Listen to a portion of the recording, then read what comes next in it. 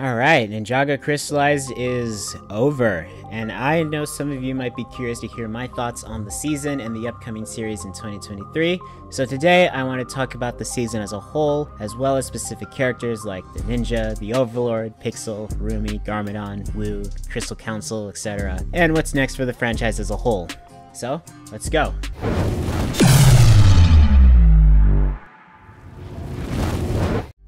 So, some of my main theories from both my Crystalized Predictions video and the 12 Endings video were right.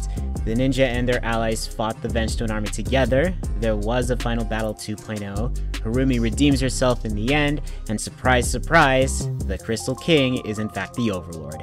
And to add to that, when the Crystalized episodes were streaming at the end of September, I got a flow of notifications from you guys telling me that the Overlord was in fact responsible for the Great Devourer corrupting Garmadon. It was I who possessed the serpent that bit your hand. It was I who corrupted the Great Devourer and set him against you. In the end, I personally believe that the Overlord played a hand in Garmadon's corruption and used him in an attempt to divide his family. My jaws and eyes were wide open during that bombshell. And while we're on that subject, I see that comment joking about me predicting the future. And to that, maybe I did. Or maybe I have some connections within the story group. Just kidding. I honestly had no idea what was going to happen, and I didn't even expect it to happen, which made that reveal so memorable to me. I also had a lot of people telling me that I was wrong about the Overlord not being an Oni, and I was a little bit on the fence going into part 2. But apparently, a lot of you trusted Garmadon's theory, which is often fine. The only thing that can destroy the Overlord is the power of the Oni. I'm sure you all are going to give me a hard time about the ninja retiring since that was my biggest prediction going in, but hey, it doesn't hurt to dream. Tell me you haven't seen a theory way more outlandish than the ones I make. But I didn't walk into Crystallize hoping that my theories would come true. Because, let's be honest, not every plot point is going to line up with what we want to see happen. And if you come into stories with the wildest theories and expect them to happen, chances are you've set yourself up for disappointment. The way I go into TV shows and movies does not hinge on any plot theories or expectations for how the story should play out. My only expectation going in is will I be entertained? And doing that, and shoving every theory or prediction in the back of my head allows me to have a good experience. And I can recognize the flaws, but I won't let them bother me as much. That might work for some, not for others, but that's how I roll. Now, on to the season itself. Was Crystalized a satisfying conclusion, or was it a disappointment? Well, let's get the criticisms out of the way first. Some of the dialogue can be a bit clunky and eye-rolly at times. The ending was also, dare I say, a tad bit anticlimactic. The final fight between the dragon forms and the Overlord, while visually entertaining, but it was a bit too fast and everyone walks out with no consequences. Like nobody dies or gets trapped in some sort of purgatory. Harumi doesn't even face the consequences for what she's done. If you say something is going to be the conclusion to the current saga, chances are that there is going to be some loss, or at the very least a passing of the torch, which is what I predicted would happen. Aside from the Vengestone and Overlord arc, there were some things that were set up in part 1 that kinda just dropped in part 2. The ninja were literally at odds with the new ninja and Mayor Trustable in the first half, but then the second half just brushes that aside and doesn't even follow through with that arc. More on that later. And because of that, the stakes were kind of lost on me and the finale felt a little too clean for my liking. Now, maybe it's because Seabound had a melancholy ending and the creators decided not to repeat that same trope, or because they thought fans, which are mostly kids, might have reacted negatively to a sadder ending. But again, if you market the season as a big conclusion to everything that's come before, the general belief is that you're going to take some risks, such as saying goodbye to the protagonists, while getting us ready to follow a new series with different characters. And because of that, I could not help but feel that the writers were either holding back and didn't take enough risks, or they were originally intending to make a sadder ending but were forced to change it in post. I don't know if that's true, but it feels like it is. And that's really my biggest complaint about the season. The ending felt a bit misleading and kind of underwhelming. Yeah, maybe they still have plans for the ninja in the future, or it's because I based my expectations on how Avengers Endgame and The Rise of Skywalker ended their respective sagas. But it's fine. The more it sits with me, the more I'll accept it. And I'm not saying the ending we got was complete garbage. I was just expecting more impactful consequences. Another big issue was continuity mistakes that seemed to contradict or ignore previous story material, like Lloyd looking down on the entire Oni race but forgot about Mistake, or Wu calling the dragon armor the golden armor, or Cole referring to Vania as princess, princess. instead of queen. But for me, the biggest outlier was when Garmadon didn't even mention his adventures in Two Moon Village from his solo comic series, which, by the way, is canon and I highly recommend you read them if you haven't. And because of that, it's apparent that the story group didn't really consult with the writers about any other story material or vice versa. Had they animated a few moments from that comic into the episode, or at least mentioned Two Moon Village, it would have flowed better and even motivate more fans to read the comics. This is nothing new. Crystalized isn't the only season to have some continuity errors or soft retcons. I mean, look at the Serpentine history, for example. But it's apparent that the relationship between the story group and writers still needs to improve. So, glossing over a few existing story material made it feel like the writers were either deliberately rushing through so much plot or were under intense pressure by the studio, which really hurts and is a problem that every other studios like Fox, Sony, and sometimes Disney don't seem to understand. Let the writers and filmmakers do their job and worry about your own. Worry about the production and distribution, not the story. And speaking of distribution, I am very disappointed with the way LEGO had handled the releasing of Crystalized. I have no idea what was going on, but they really need to get their act together. Even Tommy himself was pissed off with LEGO, and I feel really bad for the guy. Other complaints I have are relatively minor. If I had to stretch the Crystal Council, the started to feel a tad out of place in the second half and we're kind of just there. I have nice things to say about them, but my one and only gripe is that their personalities and interactions kind of clashed with the perceived seriousness of the story. The Overlord is a very serious dude, and their quick defeats also reminded me of Day of the Departed. Cringe. I said before that part 1 set up a few plot points that kind of went nowhere in part 2, more on that later. Oni Lloyd was cool, but the execution left a little to be desired. Most of the characters in the final fight didn't utter a single word, which was disappointing. I felt that the Quanish prophecy was unnecessary for them to achieve dragon form since there was no prophecy to achieve Oni form. It just felt way too convenient and I didn't really like it. I mean, I love the maneuvering, the whole jump up, kick back, whip around, and spin maneuver, and the dragon form itself. It's just the prophecy portion of it I have an issue with. I also felt the season kind of struggled to balance that darker, apocalyptic, world-ending tone with the show's familiar, campy, and kid-friendly comedy, so certain jokes didn't land the way they were intended. And then to speedrun my other issues, there were a few insufferable characters, certain choices that annoyed me, the whole powerless arc feeling stale, and some moments that kind of dragged on or made me just roll my eyes and that's just about it. I loved everything else. The season really shook me on the shoulders and screamed, This is Ninjago! The story, for the most part, was great. The animation was really good. The voice acting has been phenomenal. The sound design is incredible. The score, oh, the score is so beautiful. Jay Vincent and Michael Kramer really outdid themselves, and the visuals were just jaw-dropping. I really felt that the production put into making this season was through the roof. Compared to older seasons, this is probably the most beautiful looking one I've ever seen, especially when the city was crystallized. That pink and purple monochromatic atmosphere and the camera movements really felt like we were in the middle of an apocalypse. The action was also very intense. My favorite action scenes being Wu and Garmadon and Lloyd fighting the Crystal King, and the entire high sequence had me on the edge of my seat. Most importantly, I have to praise the cast and the characters they portrayed. Every voice actor brought their A game this time around. Sam Vincent, Vincent Tong, Andrew Francis, Michael Adamthwaite, Brent Miller, Paul Dobson, Kelly Metzger, Jennifer Hayward, Mark Oliver, Scott McNeil, Britt McKillop, Kathleen Barr, Devin Mack, Michael Dobson, Heather Doerksen, just everyone was awesome. I genuinely felt every pained outburst from both Sam and Michael.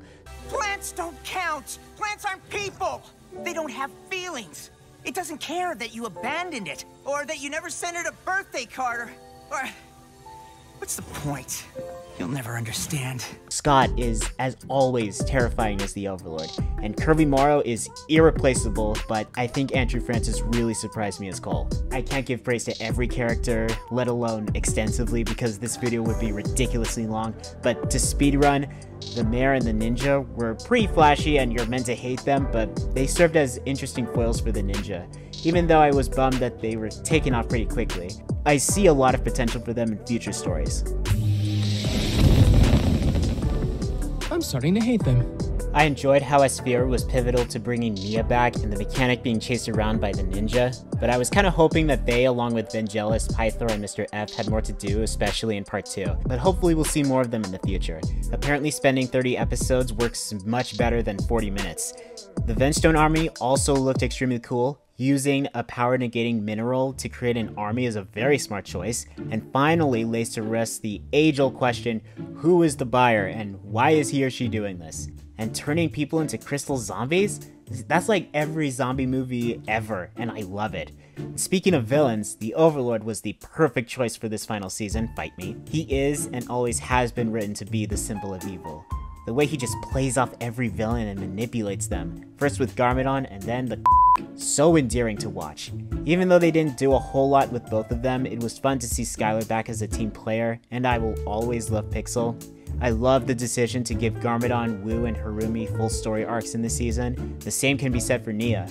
Her return took some getting used to, and the Powerless arc is done to death, but I think her struggle and eventual return to being Samurai X was enough to make it stay interesting. Zane and Kai are apparently the trickiest ninja to write, but I appreciate how they highlighted Kai's reaction to Nya's departure, and I genuinely hope Zane gets more depth and more focus moving forward. Cole and Jay are the hearts of the team, and I love how Cole is the one that brings them back together, and Jay is like the hermit since it makes sense considering what he's lost. Lloyd's emotional struggle is always relatable. He deals with so much, and I'm surprised he hasn't seen a therapist about it. And his bantering with Harumi and Garmadon was always funny. Dude, I can only imagine what Harumi would be like if they're an old married couple.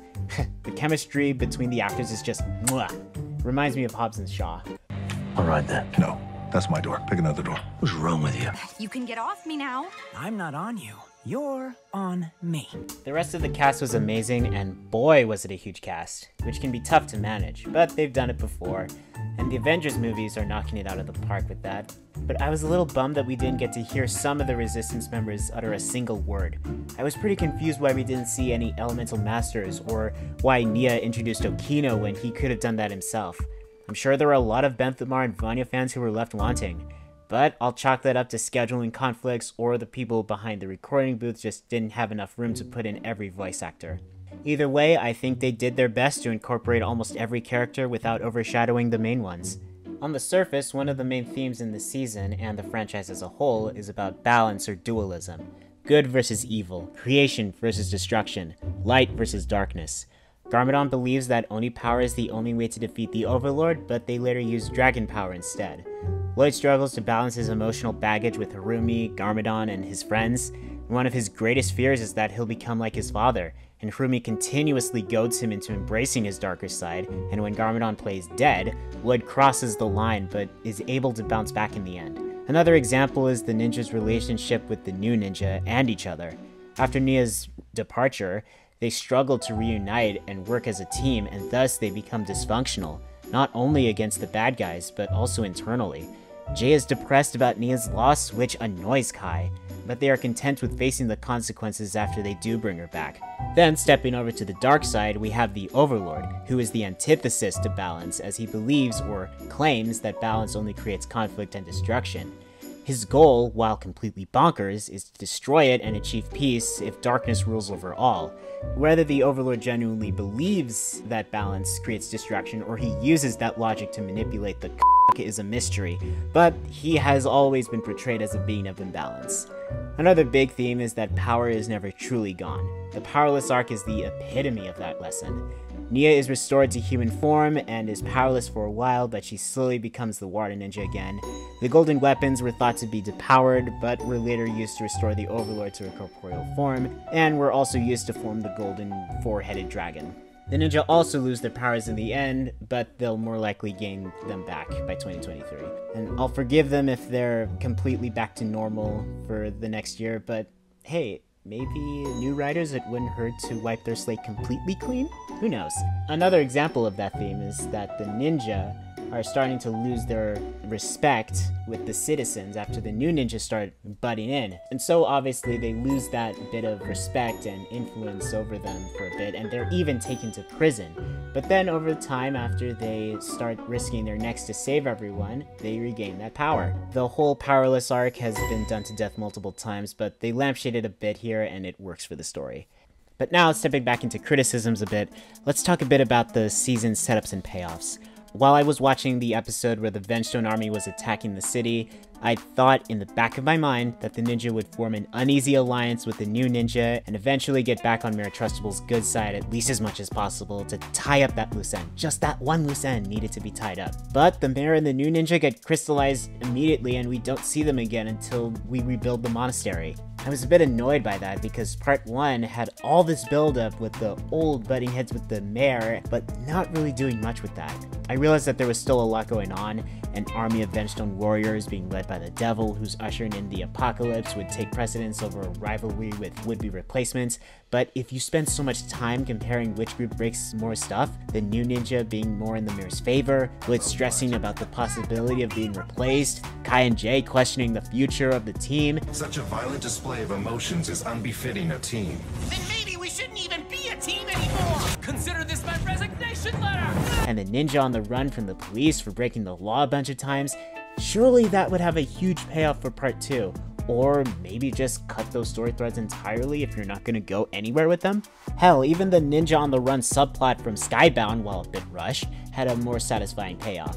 Part 1 had so much buildup with the new versus old thing, and then part 2 rolls around and it gets crystallized, no pun intended. I said before that part 1 made it seem like the ninja would inevitably retire after part 2, and since I'm talking about this now, I'm going to do something that I immediately regret doing, and if what I'm saying next feels like I'm trashing Tommy or the writers, I apologize in advance. That's not what I'm trying to do, but here it is. Let's talk about how I would have ended Crystalized.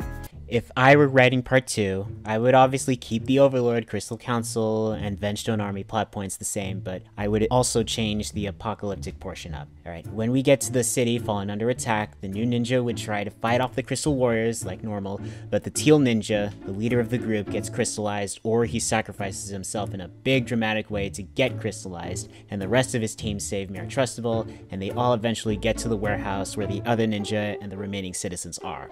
I would also have Hound Dog McBragg and a few other police officers, even the commissioner, in the warehouse too. So with the new ninja, Trustable, Hound Dog, the commissioner in the warehouse with the ninja, they start getting into an argument about the events of part 1, and then Trustable orders them to be arrested. They refuse and stand with them, mutually agreeing that there is more at stake and help them reach out to their allies just like normal.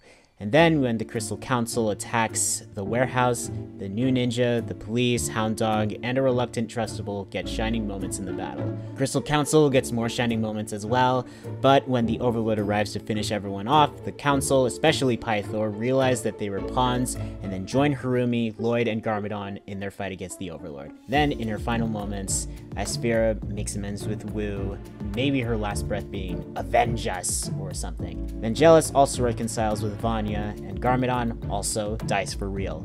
And then, during the final battle, Lloyd sacrifices himself to kill the Overlord, the Vengestone army, and restore balance. You could also include a scene where Lloyd is shown to be in the grasslands, and this time, he takes the first Spinjitzu Master's hand, calling back to Season 10, or you could just have the gold petals floating around.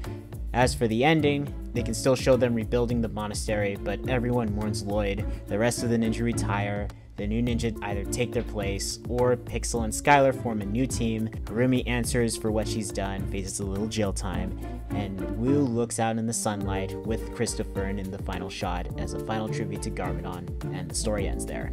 I know that's a lot to unpack and probably too much for 11 minute episodes, but it would have worked better if these episodes returned to its 22 minute runtime. The duration issues aside, this ending would have given closure for both the new ninja as well as the ninja versus the law arcs, as well as give more shining moments from the Aspheera, Pythora, and Vangelis especially would have had better send-offs, and while it would have been a much sadder and darker ending, it also allows the season to have stakes and more emotional impact.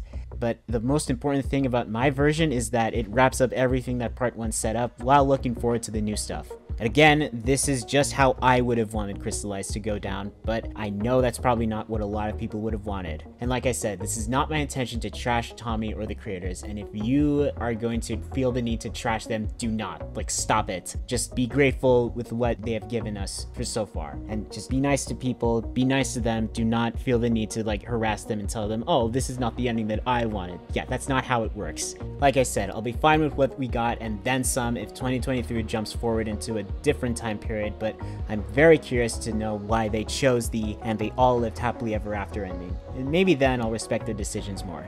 And while we're talking about creators, I just have to give a huge thank you and a round of applause for Tommy Andreasen, Dan and Kevin Hageman, Bragi Schut, and the rest of the showrunners. If you told me from 2011 that this LEGO themed TV show would have gotten 15 seasons and 2 TV specials all in the span of 11 years, I would have laughed at you. It's astounding to even consider how far they've come and how much they've accomplished. Of course, not everything was executed the best, but the fact that a show based on a LEGO theme assembled an entire franchise that even surpassed Adventure Time as the longest running show on Cartoon Network is just jaw-dropping, and it really shows how much care they put into making it. And of course, that is in large part because of the fans. I have my own personal issues with fan bases, but I have to give this one credit for keeping Ninjago alive even after Season 2, which is originally going to be the series finale. But it seems like it's not ending anytime soon, and I'm all for it. This season was probably satisfying for some of you, and probably a disappointment for others. We each have individual things that just scream Ninjago to us, and not every story has those exact things, but either way, the fact that we got 15 freaking seasons and 2 TV specials as of now is just worth recognition. Hell, we even got a movie based on this franchise, even though it takes place in a universe where everything is awesome. I cannot thank the voice actors, writers, creators, sound designers, and everyone else involved in making this franchise enough. And the fact that I'm a 21 year old dude who still watches a show aimed for kids says something. Probably says that I'm immature and I need a new hobby, but I've got plenty of hobbies at my disposal. And now that we have a new series coming out next year, I want to give Tommy and Bragi a proper farewell for everything they've done. We'll miss you both. And Ninjago won't be the same without you, but I'm excited to see what the new ringleaders will cook up next year. Speaking of 2023, some of you guys have been curious to know what I think of that. I obviously have no clue about what's going to happen, but the fact that it won't be considered Season 16 makes me perk up. One of the main things that I'm hoping to see happen is for Ninjago to get out of its comfort zone and start spreading out and getting away from the ninja. There's just so much lore and backstory that I think it would be refreshing to see more of the world through different eyes. Whether that be through the eyes of their allies or a new generation of ninja, anything works. I've been comparing Ninjago to the MCU and Star Wars, and while it's not as big or as popular, I've said before that it's big enough that it should follow a similar route and start expanding rather than treading the same ground with the same characters. From a storytelling perspective, you'll start to run out of things to say with them, and people will start to lose interest. And from a behind the scenes perspective, I'm sure the voice actors want to do other things with their lives. And I have a lot more to say about 2023, but I'm saving that for a separate video. But basically, like, uh, like, I'm just, like, ready to see, like, a new set of characters. Like, shows need to end. Like, everybody's so concerned with, like, oh, we don't want to, like, abandon the characters that we've known or were introduced to in the series. And, like, just, they can just take the same IP and just tell a different story within the universe, but with different characters. Just, just do that, like, spin-offs or like sequels that aren't like direct sequels. Yeah, just do that, or even prequels. Why not do that? Again, I'll talk more about that in another video. Overall, I thought Crystalized was fine. Is it my favorite season? Well, I did say in my Q&A video that it was, but that was before part 2 came out, so now I think I'm gonna retract my statement. It's not my favorite season, but I think it was good, or okay.